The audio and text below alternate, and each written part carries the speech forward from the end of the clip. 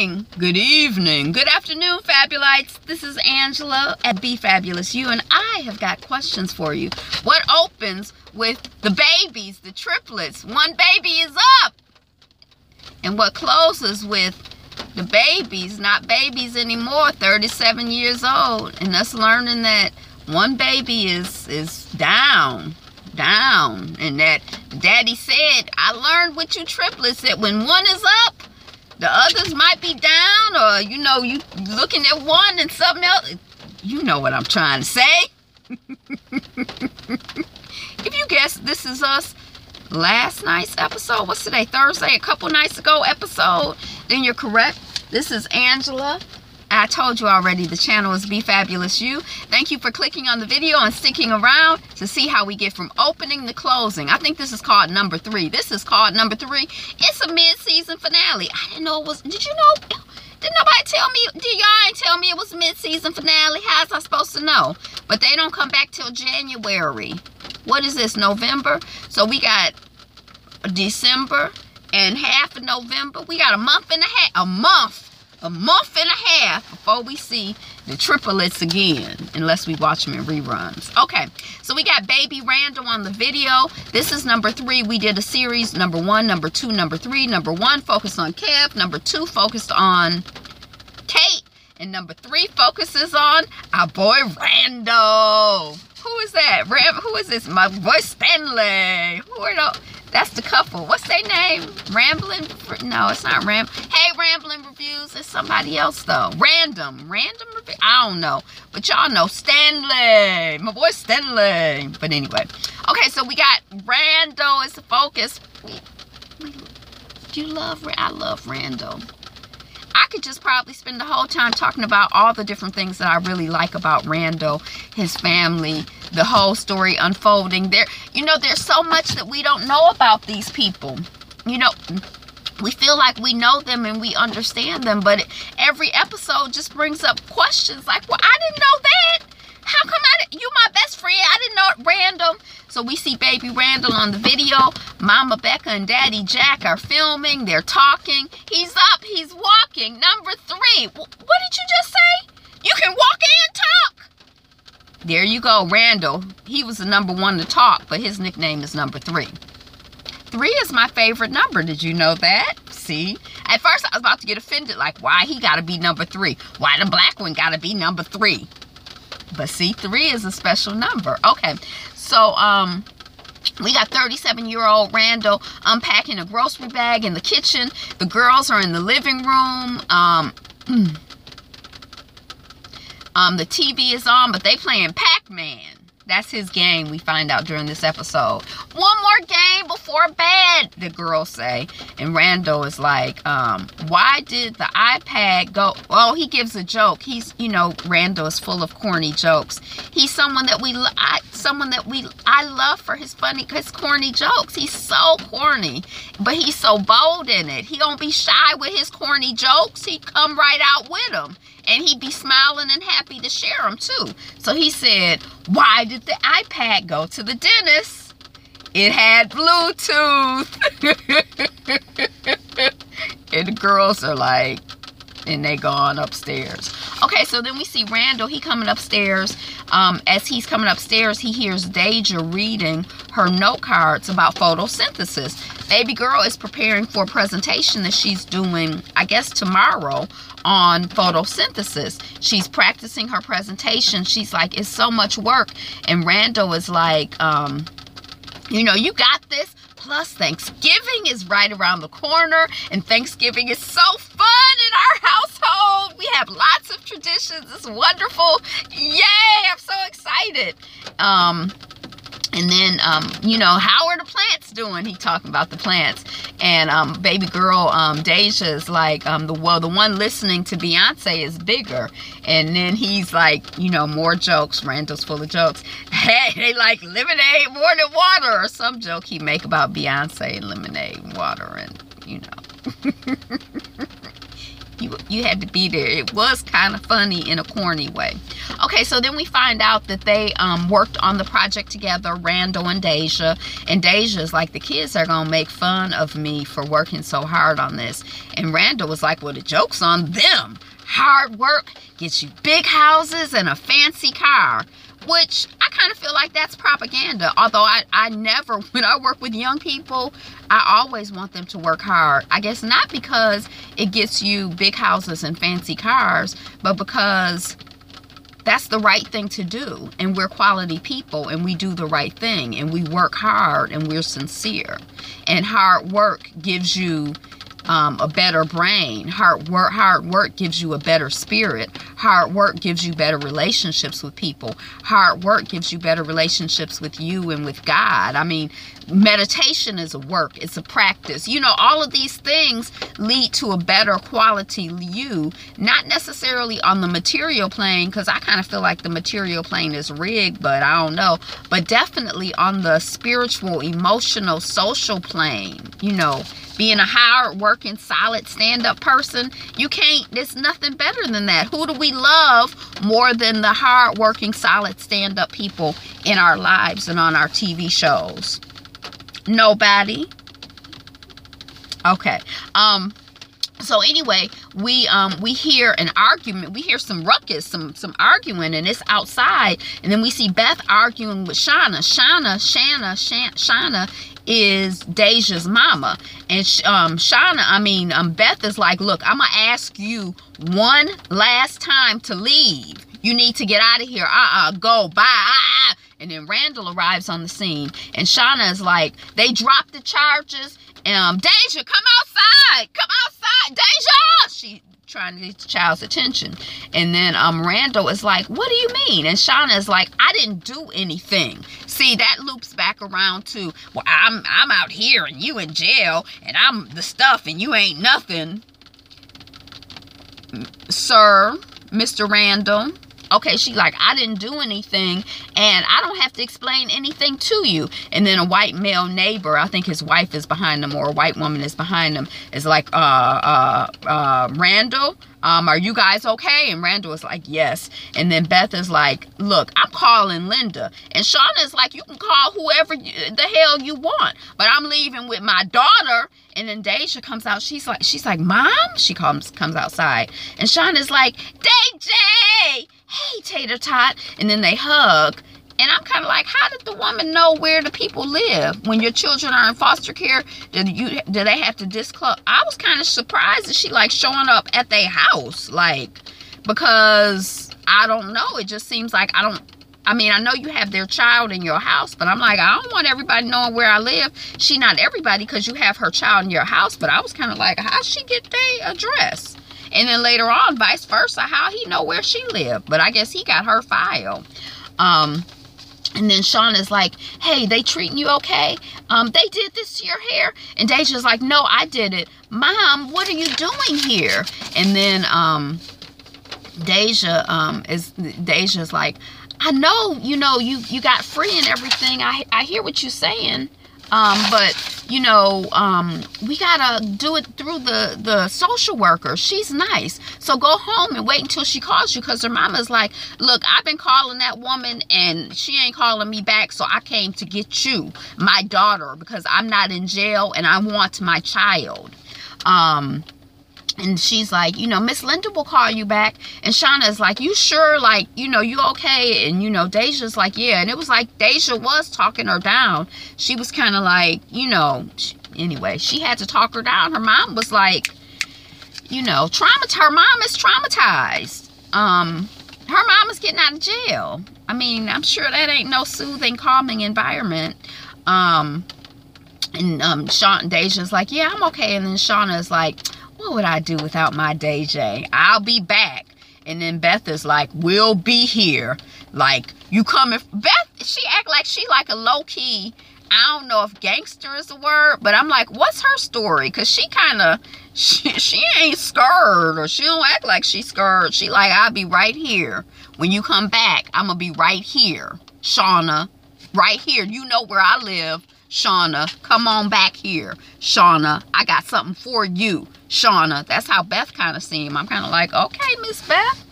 Um, and then Tess and um and Annie are peeking out the door saying and Randall is like, oh, okay, it's okay, let's go inside. And then one of the baby girls is like, well, what, what's going on? Who was that? And Randall is like, oh, that was Deja's mom. She's only, she's just excited to say hi. And then we see the tan, teen Randall and he's working on college applications. So we're, we're back in the loop, you know, on all three, number one, number two, number three. Some of the scenes are loops of the same scene, but from different perspectives. So he, we see Stanford and Princeton and Howard. HU! And then the lights, the, the fuse, the lights go out, the fuse goes out or whatever. Then we're back in the loop where um, the coach from Pitt is coming. Um, he, he's coming to see Kevin. And then Randall goes by Jack at the fuse box or at the circuit breaker or whatever it's called it. And, um, you know, his dad, um, Jack is like, Ivy League, Harvard. I just keep saying my kid is going to Harvard. You know, um, and Randall is like, well, I'm not in yet. And then he's like, you know, I'm wondering if we could see a different school, Howard University. It's in D.C. That's where Keith goes. And I'm like, Keith? Who is Keith? Randall got a black friend? A black life? A black consciousness? A black identity? I was just saying to some oh to poetry. I was saying on her one on a review of her um thing, my twisted life with poetry or my twisted life TV with poetry. I was saying on her review that I, when when in last season when they met the black people at the pool and the black mama was like, you gotta shade the boy's hair, you gotta take him to a black barber and you gotta give him lotion to put on his skin. See how I'm ashy? He gonna be ashy um, you know, black black people are different. And I was like, oh, he's gonna have some black people in his life. Then uh, we ain't seen no signs of them. So I thought, I'm like, who is Keith? I, how he got he? I was just shocked and pleasantly surprised and just so excited. Um, and Jack is like, sure, uh, we can take a ride and visit some weekend. And Randall is like, well, what about this Friday? Y'all know Randall ain't never been shy or hesitant. Randall is like, what about this Friday? And Jack is like, well, your brother's got a game Friday. And Randall is like, he's got a game every Friday. And then we find out later on that, um, because I'm like, why you got to go this Friday? That they only have the tours once a month. So it's either this Friday or he got to wait for it. So he's like, let's, let us go. Let us proceed to Washington, D.C. so that I can go and visit Howard University because that's what, I'm Randall and I want what I want when I want it now. Okay. So then we see the social worker, and she's with 37 year old Randall and Beth, and um, she's like, you know, my husband has the flu and I was away from my phone. You know, I'm sorry you had to find out that, you know, Shauna was out of jail like this. Um, but, you know, the prosecutor um, and the PID dropped the charges. What's the PID? I don't know what that is. D oh, DID? I don't know. Oh, the prosecutor did drop the charges as DID as in the word did. Trying to read my writing or something. Licky, licky. So sweet. And she's like, you know, I went by Shauna's apartment and, you know, everything is good. The place is clean. She's already stocked the fridge and, you know, there's a hearing this afternoon and I'm going to recommend to the court that Shauna get custody of her daughter. And Randall is like, you got to be kidding. Um, I'm trying to keep an open mind, but she gets out and the first thing she does is to storm over our house uninvited and make a scene. And all in my wife and she's all up in my wife's face. She freaks out my kids. And then deja has to talk her down like she's the kid. But uh she's got food in the fridge so it's all good. She had a gun in her car. Who's to say she's not gonna have a gun in her house soon? Um and then so anyway Randall, I, I don't, I'm not, I'm not with you on this one, bruh. Um, and then the social worker is like, um, you know, it's not my job to predict the future, um, but Shauna's doing good. Um, she's making inroads to get her job back. And Beth is like, Deja's hair was falling out from stress. She flinched every time my husband walked into the room. And Linda is like, um, I need to remind you that this is what you signed up for. You are foster parents. You're foster parents. You ain't adopt this child. Just, just you're a foster parent. You're a support system when the parent can't be there. Okay? And you need to be a support system when the parent is there. Try to forge a bond with Shauna. Y'all already got a bond with Deja. Clearly, the mama needs some support. We all need support at different times. Help the child out through her, but respect her mama. Dang. Randall and Beth. Okay, so random Randall is like, we know what we signed up for, but we want um the the woman we saw last night is not fit to take care of a child, and we are going to fight it.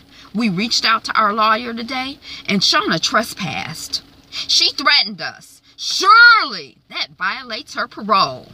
Send her back to jail. And Linda's like, uh, your lawyer, you are making a mistake here. And then Randall is like, you ever made a bad call? You ever returned a kid to a situation where there never should have been returned to? I gotta go. I take the kid girls to school and I make two stops from a house that's always clean and always has a full refrigerator. I'm done because I'm superior. Randall, cut it out. I know you and your feelings, sir, but just simmer down. Simmer down, simmer down, simmer down. Okay. So then we see um, Becca um, talking to Teen Randall, and she's um, like, I didn't know you were interested in Howard. And Randall is like, Did you even know what Howard was? And Becca is like, Well, I think it's great. You're figuring out who you are and what works best for you. And Randall is like, you know, to his father because they about to get on the road and because he not shy and he want what he want when he want it. Let's go. You know, I want to be on time. And Kate is like, um, you, we remember Kate saying this from before. Any college would be lucky to have you. You a math prodigy and perfect SAT scores. You ain't got to worry about rushing to get there. They rushing to get you, basically. And then Jack is like, okay, well, we'll see y'all after the game. And Randall is excited. He's jumping in the car, grinning, bouncing, buckling up for safety. He like, let's go, Howard! It's you. He's all excited. Okay, so then we see um, baby Annie in the um, back seat and um you know she's like is is deja gonna have to go home? And tessa's like annie they already told you they don't know. Um and um we see Deja in the front seat and then Randall is driving and Randall is like we're just trying to figure out what's best for Deja. That's all anyone wants what's best for Deja. Then we see a bunch of white kids. I'm like where they at and it's mostly all girls. And then this is Tess and Annie's school. And I was like oh. And then we do see a black child. So I don't know if it was just that particular shot but I'm like okay. Um and then Randall, as the girls get out of the car, okay, little monsters, have a good day. And then Deja, as they drive off, um, did Linda say when she was going to check on my mom to see if it's okay for me to um, go home? And Randall lies lies. And he's like, um, I'm not sure. You sure? She checked. She recommending that the child go home. And the child want to go home. She excited to see her mama. She loved her mama. I remember when I was dealing with children in foster care, it was amazing to me and very educational to me that I'm like, wow, it doesn't matter what types of experiences many of these children have had with their mamas and their papas. Your mama, you only got one mama and you only got one daddy. And there's nobody like your mother and your daddy. Like nobody can replace your mother and your father. And it's like a deep seated, it's like a real thing. Like, you know, you'd be like, you want to go back to your mama? And it's like, yeah, that's my mama. And that's the only one I have. Um, Okay, so we see Teen Randall and Jack walking um, onto Howard's campus, and Randall is smiling and he's pausing, and they go to the library, and Keith comes up, and then we hear the guy in the background. He says the tour is going to start soon, but Keith is like, um, I'm going to take Randall on a private tour, and his dad is like, uh, okay, let's go, and they like, uh, no dad's allowed or no white guys allowed. We don't really know. And then Jack watches Randall walk off with three other young black guys, and he just fit right in. He looked like he you know Um, and then we see Randall in the library and he's standing alone. Then he's observing and he's smiling. I realize he's still with the young guys he went off with, um, but he's getting a tour from them. He's looking at pictures in the display cases. Um, he's grinning, he's laughing, he's eating, he's seeing girls. He's back in the dorm room. And Randall was like, So there are no white students? And then one of the guys is like, You know, a few, some international students, the soccer team, you know, they joking. And then um, Is like, um, My entire high school is white. And then one guy says, Me too. And then another guy says, Me three. And then Keith is like, I felt the same way when I came here. Like Malcolm and Mecca like you are not alone and then randall is like it's weird man and then we see 37 year old randall he's helping deja get her science project stuff out of the trunk um, at her school and he's like i'll be back at 2:30 to watch and deja's like uh, you don't have to come no one comes shows up at these things.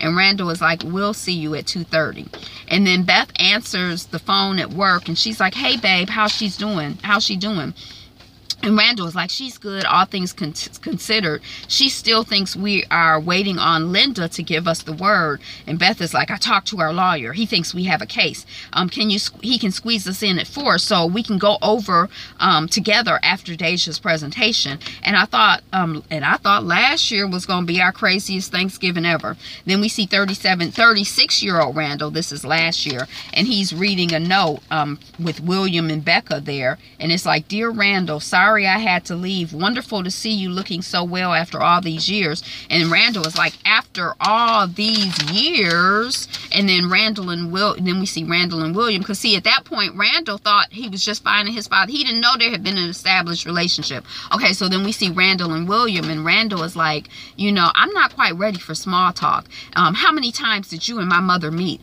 And William is like, just twice. She came right after you were born to make sure I wasn't going to come after you. And then again, um, when you were nine or so and you were asking where you came from. She was also struggle. She was struggling with whether to tell you about me or to keep you from me. And I was clean then and had a good job. And I got so excited, maybe too excited, and I came on too strong. And that scared Rebecca away. And I was shocked and disappointed when she disappeared like that. And she left and I followed her in a cab and I only had $20 and I kept hoping that I had enough to get to you. And I had enough and I made it. And I imagined walking into the door and knocking and explaining that I was was not a threat and I just wanted to be a part of your life. Um, however, they would allow, like not every day, but maybe part of big stuff like Christmas and graduations and birthdays. But then I saw your bikes on the front lawn, number one, number two, and number three. And probably I was was like one of those was your nickname. And I realized I didn't even know you your nickname. You had a whole life that, that I wasn't a part of and I had nothing, it had nothing to do with me. And um it was over for me just like that. Who was i to insert myself into your life against your mother's wishes? And then they both lean back in the same way and at the same time. And i'm like you were his father like the only father he had his birth father?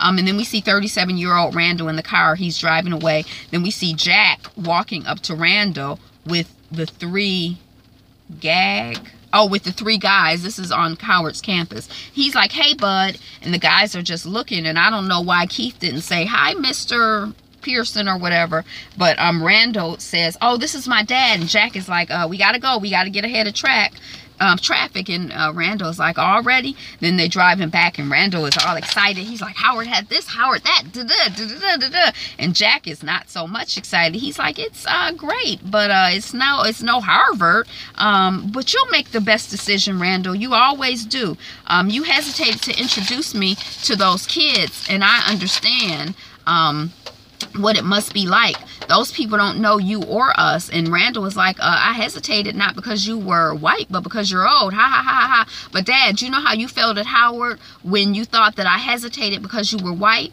Well, um, how you were kind of mad, but you understood too. I feel that way all the time, ever since I was little. Not from you guys, but from everyone else. I just feel like I'm always going to feel this way. Not just, not bad, just off balance. Like everything is going to be a bit more complicated for me. And Jack is like, um, let me make, let's make one, one stop. I want to show you something. Then we see Randall, um, doing, um, Shauna. He's on the stoop. He's pulled up, you know, at Shauna's place, and he in the car watching, and um, she's showing off clothes to her friends and smiling, and she all happy. Um, and then we see Jack and Randall at the Vietnam Memorial, and Jack is telling, I guess, Randall about Jack's brother, and then Randall puts his hand on Jack's shoulder. Then Jack puts his hand on the name, on his brother's name in the memorial. Then they're still in D.C. with the obelisk, um, you know, you know, sitting on a bench. We see the obelisk. That's how we know they're in D.C. And um, he's like, um, you know, um, he was 25 when he went to Vietnam. The draft was on TV. Our life changed. I don't talk about it even to your mom. Your mom doesn't know what I saw and what I did. It's too hard um, for all of us over there. When I got back, I, I was off balance. I was out of place all the time, everywhere. You're going to find your balance, Randall. Then you'll lose it. Then you'll find it again. It's the ride. It's life. Um, you know, we'll make a lot. You'll make a lot of choices, and I probably won't be around for many of them. But choices you will make will be spectacular because you're spectacular. Own it. Run with it. And then this beeper goes off, and it's like your sister. Something's wrong. Let's go find the phone we see 37 year old Randall and he's walking up on a waiting Beth and she smiles and they kiss and um, Randall is like, I don't think we can keep Deja from her mother. And Beth is like, I've been unsure too. And Randall is like, I went to Shauna's um, house I, and um and I saw her neighborhood and her world and I saw her come home with a bunch of new purple clothes and um for Deja. And Beth is like I didn't know purple was her favorite color Deja's favorite color. Or the Deja had cool nickname names like Tater Tot and Deja. And Randall is like she had this whole world before we came um, you know, Pac-Man is my obsession, lifelong. You know, I got the girls into it, but the game hasn't changed all these years. Life feels like Pac-Man. It's the same game, it's the same board, and the same ghost. And then Beth is like, um, I'm going to miss her, and Randall is like, me too. And then we hear Deja introducing her product and pro her project, and we see Beth and Randall, you know, standing in the background. And there's other adults there. Are they teachers or are they parents too? And then um, Deja's like, you know, my foster dad helped me with with that. And at some point he had said something about foster dad. She's like, that's dumb. Don't say that or whatever. So, you know, she's like, my foster dad. Like now she's starting to get sentimental because she's excited about going home. And also she, who, who couldn't like Randall? Everybody like Randall. And then 37 year old Randall and he's answering the phone. He like, hey Kev, you know, now's not a good time. And then Kev is like, I'm on my way to your house. I got into town early for Thanksgiving. And Randall is like, uh, okay, hey, hey man, I gotta go. I'll see you later. Then the doorbell rings and it's Linda. And Linda's like, she's right outside. And then Randall brings Shauna um, Deja's bag and he's like, she's getting the rest of her things together. And Shauna doesn't really have a response. And then Randall is like, well, uh, if you ever need any help with her, yay, Randall. And then um, you know, someone to watch her or, or pick her up after school or, or um, you know, even with homework. I'm good with math and science. I think she is too. And Shauna is like, uh, we live all the way in Newark. And Randall is like, it, um, it's okay. I'll bring the girls. And Shauna is like, I think we're good. Um, you know, but I appreciate you taking care of her. She don't really like him. He been insulting her all along. He ain't tried to build no bond with her, but she does know he ain't dog her child out, and he likes the child. You know, it's kind of like a heart. But anyway, they trying. He trying. I know he doing the best he can. And then, um, you know, inside we see Deja come downstairs and Tess and Annie hug her. And Annie gives Deja a drawing. And then the paperwork is signed and Tess and Annie hug and they're crying. Oh, Deja's leaving.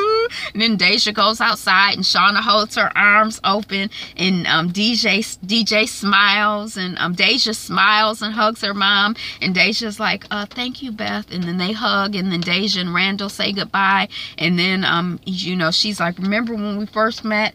And um, you said you were a kid who you always felt split inside. Well, I don't want you to think that just because I want to go home that I don't like, you know, living here. And Randall is like, I know, I know. You don't have to worry about that. And Deja's like, I know my mom does do some stupid stuff, but she's really cool. She's a good person. And then Randall's like, well, I know you don't like me hugging you. And she's like, it's just when I don't see it coming. And then they hug. And then he's crying and I'm crying. And But Beth ain't really crying. And then we see Randall washing the dishes and Beth unmaking Deja's bed. Then we see um, Becca at Kate's door with her arms open and they hug. This is after the, um, the you know, the miscarriage. So Randall just lost the baby.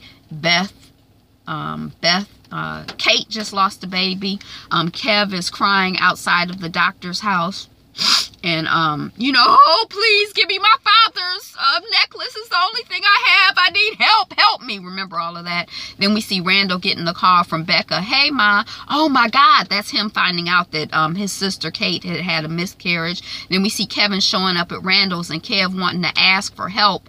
Um, hearing, um, you know, hearing of Beth's miscarriage, you know, Kevin shows up at the door and he wants to ask of help for help, but then he hears of Beth's miscarriage, and then he's leaving, and Tessa's behind has gotten in the car with him because she just wants to spend time with him. He drinking vodka and orange juice, so he on the road right rolling. Then Kevin pops her head up, and we discover that she's in the back of the car. He discovered at the same time her father is looking for her at home.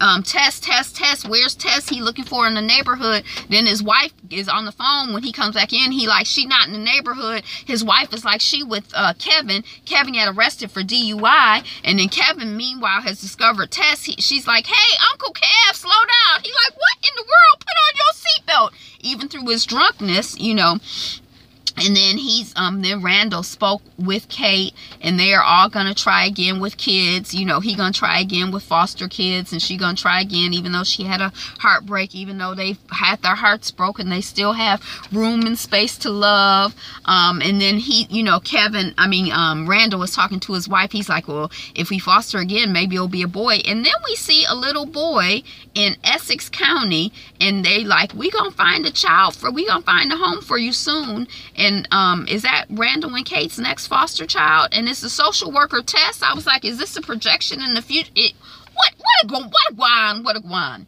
And then we see um teen Randall and Jack at the hospital with Kevin's football injury, you know, we loop him back to that. And then the father, Jack, is like, you know, your brother's going to be okay. You know, with the three of you, you know, it's always a blind spot. You know, since you were babies, when one falls down, the others are standing up. And we watching one, and that's the end of the episode. I can't believe I talked about it for a whole half hour. We're to have to wait so long to see. Um, this is us. Thank you for watching. I'm Angela. Again, the channel is Be Fabulous You. We're working still on 200 subscribers. So if you part of the work, yay, you. We love you. Be you. Be fabulous. Be fabulous. You. Today is the best day ever. Be you. Be fabulous.